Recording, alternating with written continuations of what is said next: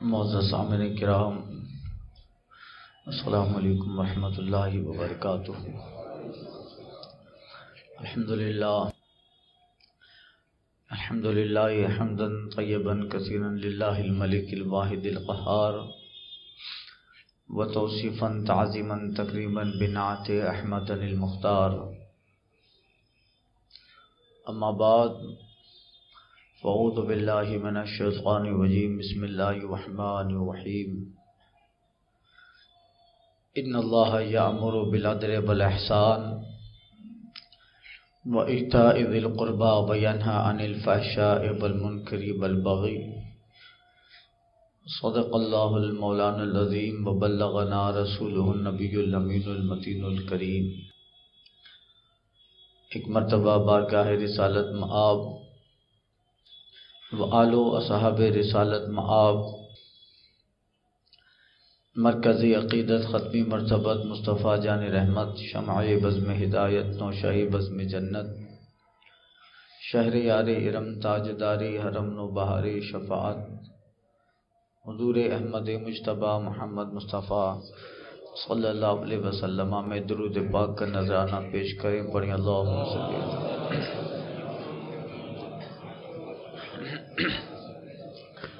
صلاتم و سلام علیک یا سیدی یا حبیبی یا رسول اللہ۔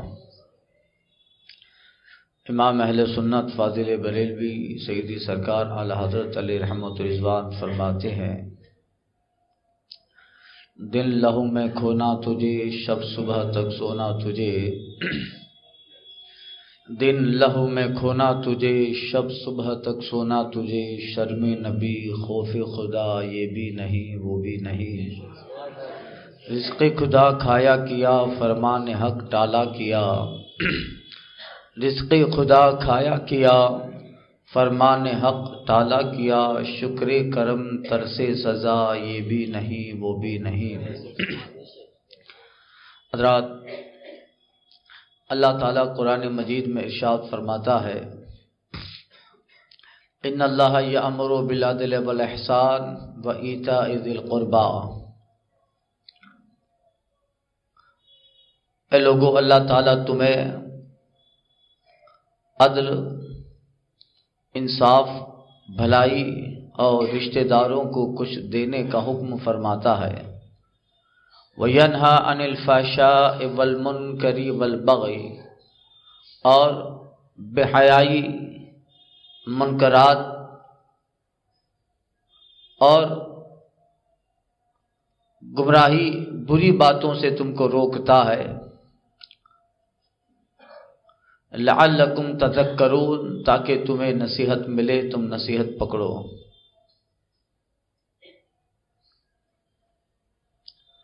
اللہ تعالیٰ نے کلام پاک میں بارہا مومنوں کو نصیحت فرمائی ہے اور کفار کے لیے وعید اور ان کو ڈرانا بھی ہے۔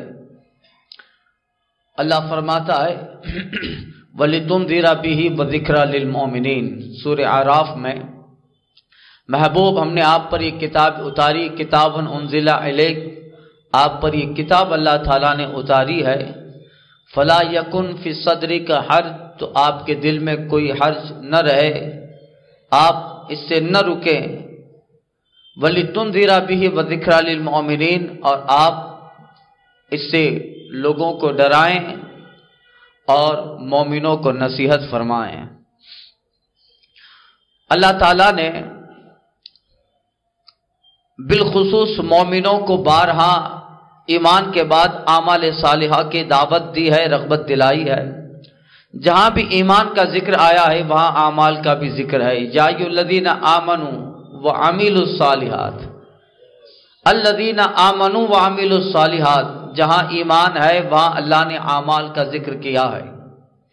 کہیں اللہ تعالیٰ نے اگلے قوم، اگلے انبیاء کرام کے قوموں کے گزشتہ واقعات کا ذکر کیا۔ اور اس کے تناظر میں امتی مصطفیٰ جان رحمت صلی اللہ علیہ وسلم کو نصیحت فرمائی کہ کہیں تمہارا حال بھی ان جیسا نہ ہو جائے۔ کہیں اللہ تعالیٰ نے قوم لوت کا ذکر کیا اور بتایا کہ ان کے اندر جو برائی پھیلی تھی، اللہ تعالیٰ نے پھر ایسا عذاب نازل فرمایا۔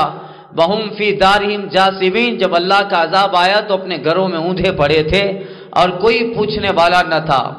کہیں حضرت شعیب علیہ السلام کی زندگی اور حالات اور ان کے قوم کا ذکر فرمایا اور پھر اس کے تناظر میں ہمیں نصیحت فرمائی کہ کہیں تمہارا حال بھی ایسا نہ ہو جائے اور تم بھی اللہ اس کے قانون کے اللہ اس کے رسول کے قانون کو توڑ کر عذاب الہی کو دعوت دینے والے نہ ہو جاؤ۔ یعنی انبیاء کرام کے حالات اور ان کی قوموں کا ذکر فرما کے اللہ تعالیٰ نے بارہا نصیحت فرمائی ہے، عمل کی طرف رغبت دلائی اعمال صالحہ کی طرف رغبت دلائی، ہدایت کی طرف آنے کی دعوت دی ہے سرات مستقیم کی طرف آنے کی دعوت دی ہے۔ اور اللہ تعالیٰ نے کئی ایک مقامات پہ قرآن مجید میں ان چیزوں کا ذکر فرمایا۔ ایمان کے بعد انسان کے لیے سب سے بڑی چیز ہے، وہ گناہوں سے بچ جانا اور نیکی کی طرف مائل ہو جانا۔ صرف نیکی کی طرف مائل ہونا کافی نہیں ہے گناہوں سے بچنا بھی بہت ضروری ہے۔ اب اسلام اللہ تعالیٰ نے ایمان جیسی ہم کو دولت عطا فرمائی ہے۔ اللہ تعالیٰ قرآن مجید میں فرماتا ان اللہ یامر بلادر والاحسان و ایتا عید القربا اے لوگو، اللہ تعالیٰ تمہیں انصاف کا، عدل کا، بھلائی کا اور رشتہ داروں کو دینے کا حکم فرماتا ہے۔ وہ ینہا ان الفاشاء بل منکر بل بغی اللہ تعالیٰ بے حیائی بری باتیں، منکرات اور گمراہی سے تم کو روکتا ہے۔ اللہ تعالیٰ نے یہ نصیحتیں اور اس طرح کی نصیحتیں قرآن مجید میں بیان فرمائی اور ان پہ عمل کرنے والوں کو اللہ تعالیٰ نے پھر بشارت بھی دی ہے اور جنت کی خوشخبری بھی عطا فرمائی ہے۔ اسلام ایک کمپلیٹ مذہب ہے، اسلام ایک مکمل دستور ہے اور اسلام کی کتاب قرآن مجید ایک اتنا مکمل اور بہترین دستور عمل اور ضابطہ ہے کہ جہاں قرآن مجید نے اپنے ماننے والوں کو گمراہی اور کفر سے بچایا، وہاں ایمان میں آ جانے کے بعد اللہ تعالیٰ نے ہم کو اپنے آپ کو کس طرح سنوارنا ہے، اس کا بھی طریقہ اور طرز بتائی ہے۔ اللہ تعالیٰ نے یہ پوری دنیا بنائی اور اس میں بے شمار اللہ تعالیٰ کی مخلوقات ہیں۔ مگر اس میں سے جو اللہ کے سب سے قریب ہے، وہ صرف اس کے مومنین بندے ہیں۔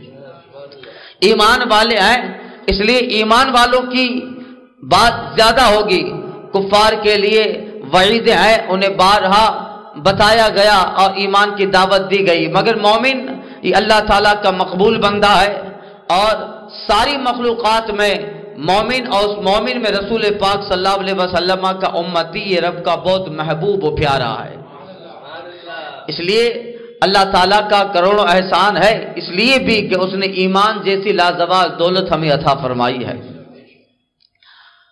اب سرکار صلی اللہ علیہ وسلم کی زندگی کے حالات پڑے ایمان کے بعد صحابہ کرام رضوان اللہ تعالیٰ علیہ مجمع جب لوگ اسلام میں داخل ہو گئے، ایمان لے آتے۔ اور ایک بہت بڑی جماعت ہو گئی صحابہ کرام رضوان اللہ تعالی علیہ مجمعین کی۔ سرکار صلی اللہ علیہ وسلم انہیں نصیحت فرماتے، انہیں تبلیغ فرماتے۔ اور یہ بارہا سرکار صلی اللہ علیہ وسلم کے حیات مقدسہ کا مطالعہ کریں جہاں دنیا کا دستور و نظام آقا علیہ صلاح و تسلیم نے عطا فرمایا۔ وہاں بندے کو اپنی قبر کس طرح سنوارنی ہے؟ حشر اپنا کس طرح سنوارنا ہے اس کی بھی تعلیم دی ہے۔ آپ پڑھیے مصطفیٰ جان رحمت صلی اللہ علیہ وسلم کی سیرت پاک۔ حضور جگہ جگہ اپنے صحابہ کو یہی فرماتے، اللہ کے حقوق کی حفاظت کر، بندے کے حق کی حفاظت کر۔ کہیں حقوق العباد میں گرفتار ہو کر عذاب الہی کا شکار نہ ہو جائے۔ جہاں ہوں مصطفیٰ جان رحمت، صحابہ کو تبلیغ فرماتے اور قبر اور حشر اور میزان اور اس طرح کی ساری باتیں مصطفیٰ جان رحمت فرماتے۔ جناب عائشہ صدیقہ کے ساتھ ہوں، آقا فرماتے عائشہ، اللہ سے ڈر۔ سرکار مسجد نبی میں ممبر پہ جلوہ بار ہوں۔ آقا صحابہ سے کہتے ہیں تزبدو فین خیر الزاد تقوی اے صحابہ، توشہ آخرت کا اختیار کرو۔ اے صحابہ، تقوی اختیار کرو۔ تزبدو فین خیر الزاد تقوی اور سب سے بہتر سامان آخرت کا، وہ تقوی ہے، پرہیزگاری ہے، اللہ سے ڈرنا ہے۔ تزبدو فین خیر زادی تقوا سامان ساتھ میں رکھو اور سب سے بہتر سامان وہ تقوا پرہیزگاری، خوف خدا، خشیت الہی۔ اللہ تعالیٰ سے ڈرنا یہ سب سے بہتر سامان ہے۔ جو آخرت میں کام آنے والا سامان ہے، قبر کی کوٹھڑی میں کام آنے والا سامان ہے۔ سرکار جنگ کے لیے جا رہے ہیں، صحابہ کرام کا ازدحام لگا ہے۔ اور سرکار کے ساتھ صحابہ بھی جلوہ باد چل رہے ہیں۔ آقا صلی اللہ علیہ وسلم فرماتے ہیں، اے صحابہ اللہ سے ڈرو اور قبر کو یاد کرو۔ بندے کے حق کی رعایت کرو، اللہ کے حق کو حق کی رعایت کرو۔ حضرت ماز بن جبل کے ساتھ سرکار اونٹ پہ سوار ہیں اور آقا فرمات، اے ماز تم کو میں نصیحت کرتا ہوں، اللہ کے حقوق کو حفاظت سے پکڑ لو۔ اللہ کا حق کیا ہوتا ہے؟ نماز اللہ کا حق ہے۔ روزہ اللہ کا حق ہے۔ نماز اور عبادات یہ ساری اللہ کے حق ہے آقا فرماتے ماز بندوں کے حق کا حق کی حفاظت کرو۔ یعنی ہماری وجہ سے کوئی بندہ ناراض نہ ہونا چاہیے۔ کسی کا سامان بغیر اس کی اجازت کے ہمارے پاس آ جائے، کسی کا حق مارنا۔ اب یہ سرکار ان صحابہ کو نصیحت کر رہا ہے، جن کی پوری زندگی تقوی کہا جائے۔ جن کے ساری زندگی کے حالات کا ہر ایک ایک لمحہ تقوی و پرہیزگاری کہا جائے۔ مگر سرکار معاذ بن جبل سے کہتے ہیں، بندوں کی حق کی رعایت کر۔ یعنی بندہ تجھ سے اللہ کا راضی ہونا چاہیے۔ کبھی بھی بغیر کسی شرعی عذر کے کوئی بندہ ناراض نہ ہو۔ کسی کا حق لے لینا، کسی کا حق غضب کر لینا، کسی کے حق کو چھین لینا۔ یہ قیامت کے دن بہت بڑا وبال بن سکتا ہے۔ یعنی رسول پاک مسجد میں ہو تو آخرت کی بات ہے۔ سرکار جو ہے، حرم شریف میں ہو تو آخرت کی بات ہے۔ صحابہ کے ساتھ جنگ بھی جا رہے ہیں تو آخرت کی بات ہے۔ ماد بن جبل کے ساتھ اونٹ پہ بیٹھے ہیں تو آخرت کی بات ہے۔ اپنے ازواج متحرات کے ساتھ حجرہ پاک میں ہے تو آخرت کی بات ہے۔ سفر میں ہے تو آخرت کی بات ہے۔ حضر میں ہے تو آخرت کی بات ہے۔ یعنی کبھی بھی سرکار نے ایک لمحہ بھی صحابہ کو ایسا ہی نہ چھوڑا۔ بار بار ریپیٹ کرتے رہے سرکار۔ آخرت کو سوال، اپنی قبر کو سوال لے۔ سرکار نے پوری حیات پاک میں جہاں رہے، بارہ آخرت کا تصور دیا۔ بلکہ سرکار کی حیات پاک کا آخری سال ہے۔ آخری حج سرکار فرماتے ہیں، مکہ کی موزمین فتح ہو گئی ہے اور آقا آخری حج حجت الوداع میں خطبہ اشاد فرماتے ہیں۔ سرکار صلی اللہ علیہ وسلم کے ساتھ ایک لاکھ چوبیس ہزار تقریباً صحابہ کرام کا مجمع لگا ہوا ہے عرفات کے میدان میں۔ اور آقا جبلے ایک پہاڑ ہے جبلے نور پہ سرکار جلوہ بار ہے۔ اونٹنی پہ سرکار جلوہ فراش ہے۔ اور آقا علیہ السلام و تسلیم ایک بہت عظیم خطبہ اشاد فرماتے ہیں، جسے خطبہ حجت الوداع کہا جاتا ہے۔ اور آقا فرماتے باتیں میں نے اپنی زندگی میں جو میرے رب نے کہا وہ سارا پیغام میں تم تک پہنچا دیا۔ اب پھر بھی آخر میں سرکار نصیحت فرما رہے ہیں۔ بتائیے، ساری زندگی تو یہی بیان کرتے رہے۔ مگر آخر میں اب سرکار صلی اللہ علیہ وسلم آپ کو معلوم ہے، اب آنے والے سال میں میں حج کرنے نہ آنے والا ہو میری زندگی کا ظاہری آخری سال لیجیے اب پھر صحابہ کرام رضوان اللہ علیہ مجمعین رہیں گے۔ مگر سرکار نے پوری زندگی جو درس دیا، اس کا خلاصہ آخری حجت الوداع میں مصطفیٰ اشاد فرماتا ہے اے میرے صحابہ، میں نے تم کو بارہا بتایا، اپنی قبر تمہارے سامنے رہے، اللہ نے حشر بنایا ہے تمہارے سامنے رہے، تمہیں میزان عمل پہ آنا ہے، تمہاری ساری نیکیاں، برائیاں میزان عمل میں تولی جانے والی ہے، وہ سارا میزان کا نقشہ تیرے پاس رہے، اللہ نے تمہارے آس پاس دو لکھنے والے مقرر کیا ہے، جو تنہائی میں بھی تمہارے اعمال لکھ رہے ہیں، خلوتوں میں بھی تمہاری ساری کارکردگی نوٹ کرتے ہیں، جلوتوں میں بھی تمہارا سارا حال لکھتے ہیں، اور وہی نام اعمال بارگاہ الہی میں پیش کرنے والے ہیں۔ اے صحابہ، اللہ سے ڈرتے رہو، اپنی قبر کو یاد کرتے رہو۔ آخری حج مصطفیٰ فرماتے ہیں اور خود بھائی حجت الوداع اشاد فرماتے ہیں۔ آقا فرماتے ہیں، میں نے زمانہ جاہلیت کے ساری بری رسموں کو اپنے پیروں تلے روند ڈالا ہے۔ آج کے بعد اے صحابہ، لا افخر عربی علی اجمی، ولا اجمی علی عربی، ولا ابید علی اسود، ولا اسود علی ابید الا بالتقوی۔ مصطفیٰ کہتا ہے ہے زمانہ جاہلیت کے دستور کو میں محمد عربی اپنے پیروں تلے روند دیتا ہوں۔ آج کے بعد کوئی عربی اجمی سے بہتر نہ ہوگا۔ آج کے بعد کوئی اجمی عربی سے بہتر نہ ہوگا۔ آج کے بعد گورا کالے سے اچھا نہیں ہے۔ آج کے بعد کالا گورے سے بہتر نہ ہوگا۔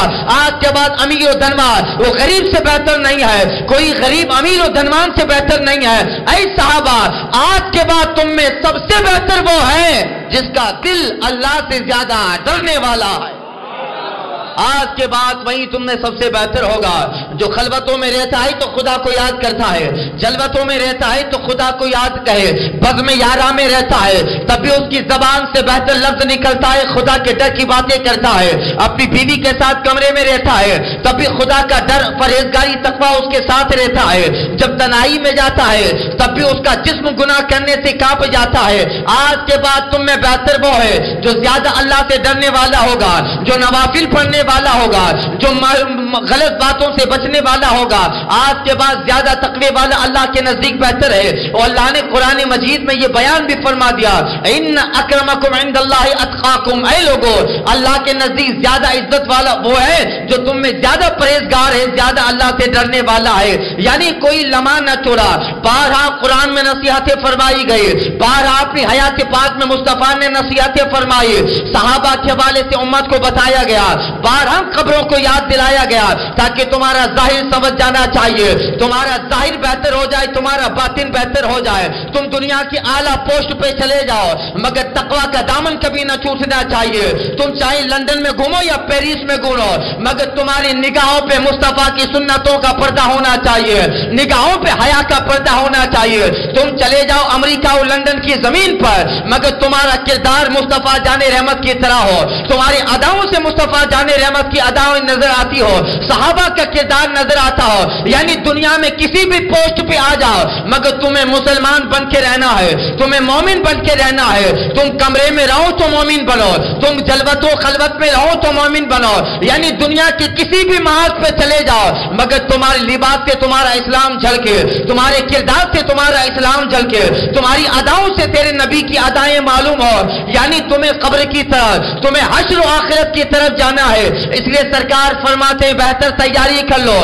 قبر کے حالات بڑے مشکل آنے والے ہیں۔ آخرت کا حال بڑا مشکل آنے والا ہے۔ پوسی رات کا حال بڑا مشکل آنے والا ہے۔ آخرت کی تیاری کرتے رہو۔ اگر ایک کانٹا بھی زمین پہ پڑا ہوا اٹھا کے تم نے سائڈ میں رکھ دیا۔ میرا رب اتنا کریم ہے کہ اس پہ بھی تمہیں درجہ دیتا ہے۔ اس میں بھی تمہیں صدقے کا ثواب عطا فرماتا ہے۔ یہ سارے اعمال کی کھیتیاں کرتے رہو۔ آقا فرماتے ہیں دنیا مزرع الاخرہ۔ دنیا آخرت کی کھیتی ہے، یا اعمال بوتے رہو، یا حسنات بوتے رہو، یا حقوق اللہ بوتے رہو، یا حقوق العباد کا لحاظ کرتے رہو، اعمال کی دنیا میں تقوی و پرہیزگاری کا بیج ڈالتے رہو۔ اور دنیا مزرع الاخرہ، دنیا آخرت کی کھیتی ہے، جتنا بوئے گا، آخرت میں بہتر فصل تجھے ملنے والی ہے۔ آخرت میں بہتر انعام تجھے ملنے والا ہے۔ یعنی پوری زندگی مصطفیٰ جانے رحمت نے یہی بتایا، تمہاری قبر کیسے بہتر بنی تمہارا حشر کیسے بہتر بنے؟ اس لیے اب ہر جمعہ کو ایک ممبر خطیب جو ہے، ممبر پر بیٹھ کر خطیب ایک نصیحت کرتا ہے۔ شاید آپ نے جمعہ کا خطبہ غور سے سنا ہوگا، آپ کو معلوم ہوگا۔ ممبر بیٹھ پر بیٹھ کر خطیب کہتا ہے، ان اللہ یامر بالعدل والاحسان و ذی القربى و عن الفحشاء والمنکر والبغي ہر خطبہ میں یہ آیت پڑھی جاتی ہے اور جو ہے خطبہ جمعہ میں اس آیت کو پڑھا جاتا ہے۔ یعنی سرکار صلی اللہ علیہ وسلم جب جمعہ کا خطبہ ارشاد فرماتا ہے تو اسی طرح مصطفیٰ جان رحمت نصیحت فرماتا ہے اگر آپ نے خطبہ جمعہ غور سے سنا ہے، تو پھر آپ کو معلوم ہوگا۔ ممبر پر بیٹھ کے خطیب کہتا، ان اللہ یامر بالعدل والاحسان اے لوگو، اللہ تعالیٰ تمہیں بھلائی کا حکم دیتا ہے۔ اللہ تعالیٰ انصاف کا حکم تمہیں فرماتا ہے۔ وہ ایتا دل قربا اللہ نے مال و اسباب تمہیں عطا فرمایا ہے۔ تو اپنے پڑوسی، اپنے رشتہ داروں کو دینے کا حکم دیتا ہے۔ یہ بہتر نصیحت جمعہ کے دن کی جاتی ہے تاکہ یہ نصیحتیں سن کر ظاہر بات ہے مصطفیٰ جان رحمت کے زمانے میں آقا اپنی زبان فیض ترجمان سے عربی میں خطبہ تقریر فرمایا کرتے تھے، مگر ہم لوگ ہندی ہیں، عربی سمجھ نہ پائیں گے، اس لیے ہمارے امت کے علماء نے وہ خطبہ جو ضروری تھا اس کو تو رکھا کہ ممبر پر بیٹھ کر امام جمعہ میں خطبہ دیتا رہے تاکہ سنت متواتر ادا ہوتی رہے اور یہ خطبہ جمعہ، نماز جمعہ کا حصہ بن گیا۔ یہ تو ضروری ہو گیا، مگر سرکار دو عالم کی عادت پاک، سرکار کی عادت کریم کریمہ۔ جب صحابہ جمع ہو جاتے، مصطفیٰ جان رحمت خطبہ ارشاد فرماتے۔ اب وہی خطبہ جو مصطفیٰ نے ارشاد فرمایا، وہ عربی کا ہے۔ اگر دوہرایا جائے تو سمجھ میں نہ آئے گا۔ اس لیے ہمارے امت کے علماء نے زمانوں سے یہ رواج نکالا۔ جمعہ میں اتنے سارے لوگ جمع ہوتے ہیں، جس زبان کا جاننے والے لوگ ہوں، خطیب اس زبان میں خطبہ یعنی تقریر کرتا رہے۔ خطبہ کا مطلب ہی تقریر ہوا کرتا ہے۔ خطبہ کا مطلب ہی باز ہوا کرتا ہے۔ اس لیے ایک نصیحت کی جاتی ہے اردو کے اندر۔ تاکہ آپ لوگ سمجھ جائے کیوں نصیحت کی جاتی ہے؟ اس میں ایسے الفاظ ہوتے ہیں، تاکہ تم اب آئندہ جمعہ نماز پڑھنے آنے والے ہو۔ ایک آٹھ دن تک ہمارا تقبہ مضبوط رہے۔ ایسی خوراک قوم کو دے دو، ایسی نصیحت کر دو۔ آج یہاں سے نصیحت لے کے جائے، اس سے اس کی روح کی غذا مل جائے، اس سے اس سے روح کا تقوی مل جائے۔ آٹھ دن تک وہ نصیحت اس کے دماغ میں آتی رہے۔ آٹھ دن کے بعد دنیا میں ملوث ہو کر، ہو سکتا ہے کہ کچھ نصیحتیں بھول گیا ہو ہو سکتا ہے کہ کچھ باتیں یاد ہو بھول گیا ہو اور دل سے پھر دنیا داری آ گئی ہو، پھر آ جائے اگلے جمعہ کو، پھر امام خطبہ دے گا، نصیحت کرے گا، پھر سے تقوی تازہ ہوگا۔ یعنی بارہا مصطفیٰ کے طریقے کو باری برقرار رکھا گیا۔ جہاں ہو تو نصیحت کی جائے۔ جس جگہ ہو تو تمہیں قرآن حدیث سنائی جائے، ہمارے یہاں کوئی انتقال کیا جائے، اس کے تعلم کا موقع ہو تو تمہیں مجلس میں نصیحت کی جائے، اس کے تصویر کا موقع ہو تو تم کو نصیحت کی جائے۔ سرکاری بغداد کا دن آئے جاروی شریف کے پروگرام میں نصیحتیں کی جائے سرکاری اجمیر کا دن آئے، شٹی شریف کے پروگرام میں نصیحت کی جائے، امام علی مقام سعید الشہدا کا دن آئے، محرم کے دس بازوں میں جہاں سوانے کربلا بیان کی جائے، وہاں امام کی زندگی اور سیرت کے تناظر میں بات بارہ ہاں نصیحتیں کی جائے، یہ امت کے علماء بارہ ہاں تقریر کرتے، کیا مسئلہ؟ یعنی بارہ ہاں سننے کے بعد دل میں تقوی پیدا ہوتا ہے، دل میں پرہیزگاری پیدا ہوتی ہے، جس قدر قرآن کی نصیحتیں سنتا رہے گا، جس قدر حدیث کی نصیحتیں سنتا رہے گا، جو دماغ اپنے دل کے اندر کالا داغ پڑ جاتا ہے بارہ سننے کی وجہ سے، آیت قرآن حدیث سے سننے کی وجہ سے، اس دل کے اندر جو ہے، کالا نقطہ ختم ہوتا ہے، اس میں پرہیزگاری داخل ہوتی ہے بارہ امت کے علماء نے یہ طریقہ اس لیے نکالا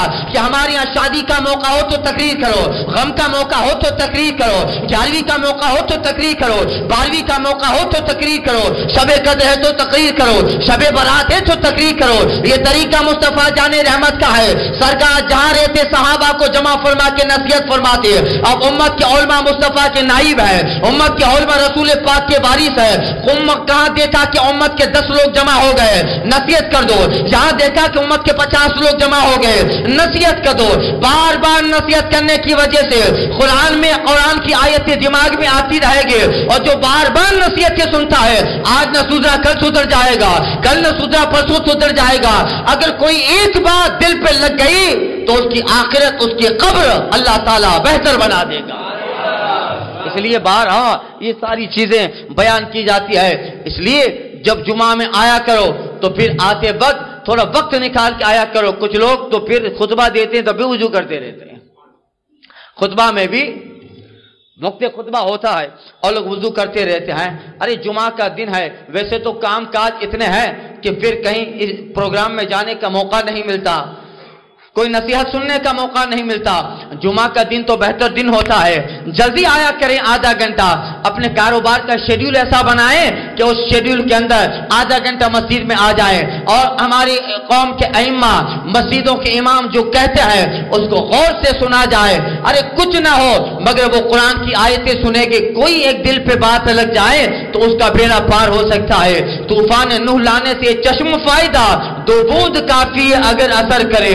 پھول کی پتی سے کر سکتا ہے، ہیرے کا جگر۔ مرد نادا پہ کلام نرم نازک بھی آتا ہے۔ اس لیے اب لوگوں میں غفلت اس قدر بڑھتی جا رہی ہے۔ ہفتہ میں ایک نماز جمعہ پڑھنا ہے، مگر پھر بھی اس طرح شیڈیول بناتا ہے۔ جب امام ممبر پہ خطبہ دینے کی تیاری میں ہوتا ہے، ایک آدھا خطبہ گزر جاتا ہے۔ پھر بھی لوگ مسجد کے وضو خانے پہ وضو کرتے ہیں۔ ارے، آج جمعہ کا دن ہے۔ مصطفیٰ نے بارہ اپنی زندگی حیات پاک میں صحابہ کو بتایا۔ جمعہ کو جو پہلے آئے گا اس کا اتنا سوال دوسرے نمبر پہ آئے گا اس کو اتنا ثواب، تیسرے نمبر پہ آئے گا اس کو اتنا ثواب۔ یعنی جمعہ کی نماز میں جلدی آنے پر جنت کی بشارتیں دی گئی، جنت کا انعام رکھا گیا، اجر کا انعام رکھا گیا۔ مگر دنیا نے اس قدر دماغ میں پہرا ڈالا ہے دنیا داری نے اس قدر دماغ پہ پہرا ڈالا ہے، ہفتہ میں ایک نماز جمعہ پڑھنی ہے، جس جمعہ کو سید الایام کہا جاتا ہے۔ سارے دنوں کا سردار جمعہ کا دن ہے اور ہمارے لیے عید کہا گیا ہے، جمعہ کا دن مصطفیٰ کہتے ہیں۔ الجمعہ عید للمسلم.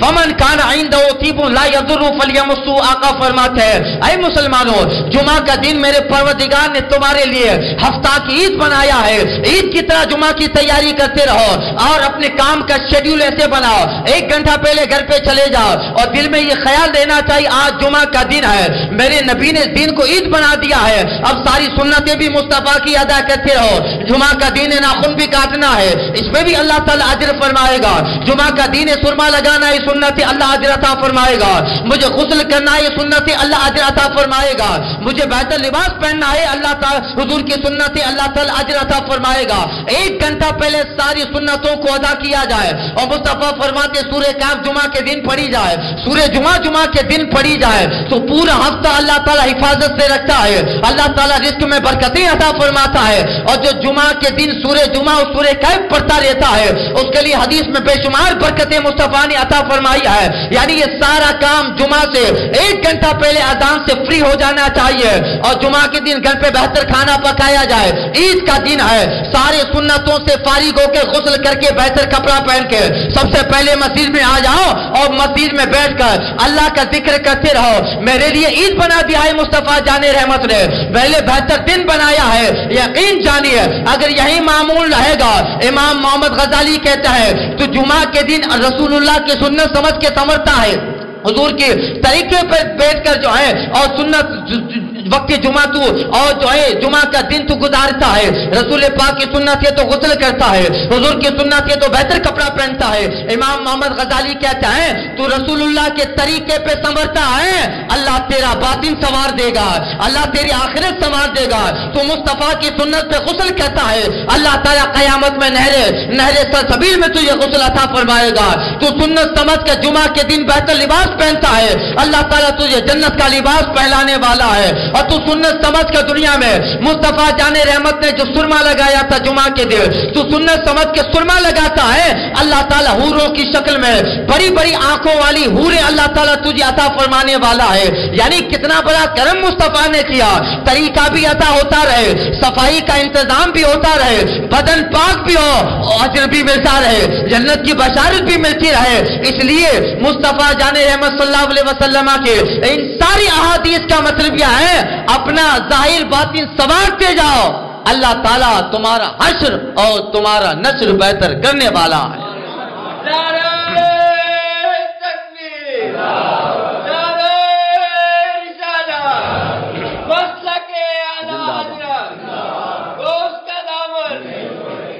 مگر کیا کیجیے گا؟ ہفتہ میں ایک نماز پڑھنی ہے مگر پھر بھی لوگ بہت دیر سے آتے ہیں۔ پہلے آ جانے کی کوشش کرے، اس پہ بہت سارا اجر، احادیث، لمبی احادیث ہے کہ جو پہلے آتا ہے، اس کو کتنا جمعہ کے دن ثواب عطا کیا جاتا ہے۔ تو یہ بارہا نصیحتیں کی جاتی ہیں۔ اور پھر ممبر پر بیٹھ کر وہ نصیحتیں دہرائی جاتی ہے جو سرکار نے صحابہ سے کی تھی۔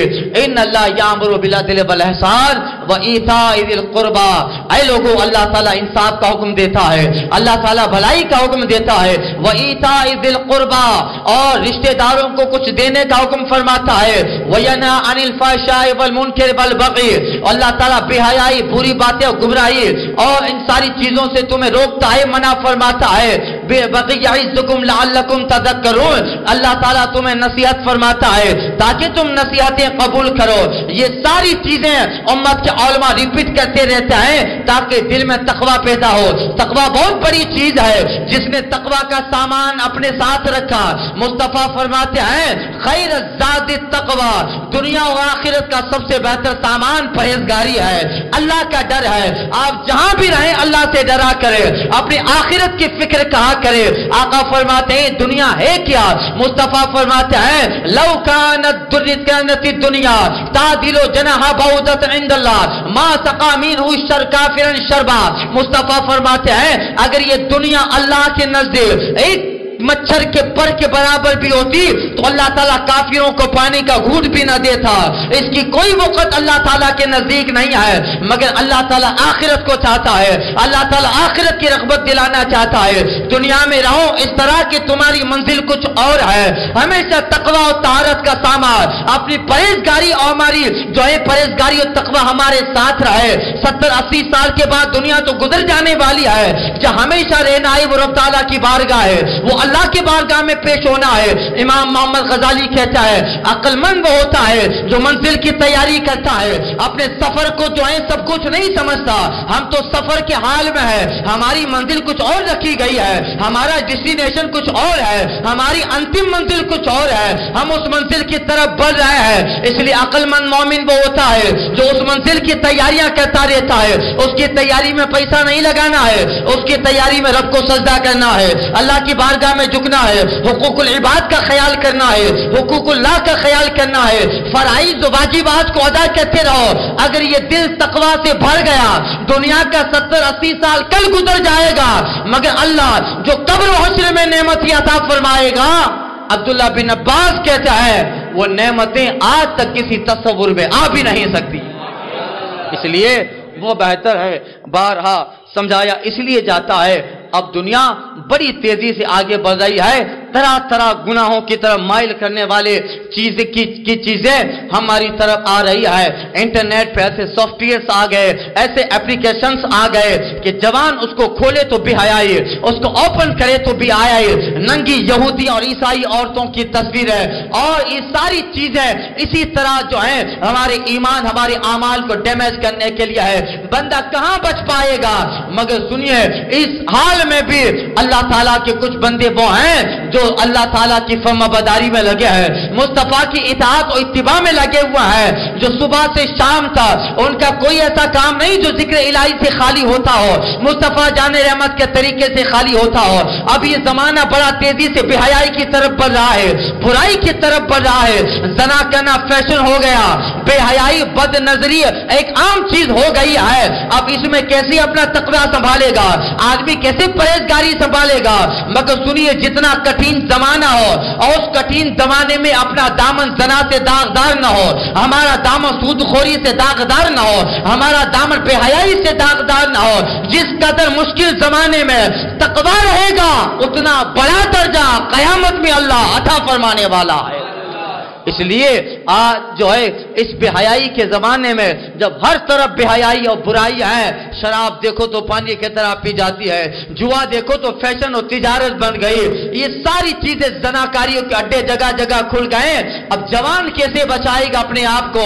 ایک ہی طریقہ ہے، تو تنہائی میرے تو اللہ کو یاد کر۔ خلوت و جلوت میرے اللہ کو یاد کر۔ جب بھی برائی کا تصور آئے، فوراً دماغ سوچ اس طرح کہ میرے آگے پیچھے اللہ نے فرشتے لگا دیا۔ ہے۔ میری ساری کام، سارے کام فرشتہ نوٹ کر رہا ہے۔ اور دنیا، دروازہ بندے دنیا دار نہیں دیکھتا۔ مگر میرا پروردگار دیکھ رہا ہے۔ وہ علیم ہے، حفیظ رقیب ہے۔ اور اس نے دو فرشتے میرے آگے پیچھے لگا دیا ہے، جو میرے سارے کام کو نوٹ کر رہا ہے۔ اور زمین کو اللہ تعالیٰ نے سی سی ٹی وی کیمرہ کی طرح بنا دیا۔ میری ساری گتی ودھی زمین نوٹ کر رہی ہے۔ اور قیامت کے دن اس کا شہادت و گواہی بھی دینے والی ہے۔ ہمیشہ جب گناہ کا تصور آئے، ہاتھ میں موبائل آ گیا، جیسے ہی کسی غلط کی طرف چیز، غلط چیز کی طرف دماغ چاہتا ہے، انٹرنیٹ کی کوئی ویب سائٹ کھول کر کچھ غلط دماغ سوچنا ہے، فوراً دل میں خیال آ جانا چاہیے۔ میرا رب مجھے دیکھ رہا ہے، مجھے ان ساری کرتوتوں کی طرح رب کی بارگاہ میں اس کا جواب دینا ہے۔ اور جب میں اللہ کی بارگاہ میں پیش ہوں گا، میرے پاس کوئی جواب بننے والا نہیں ہے۔ فوراً دماغ آخرت کی طرف لگا دے،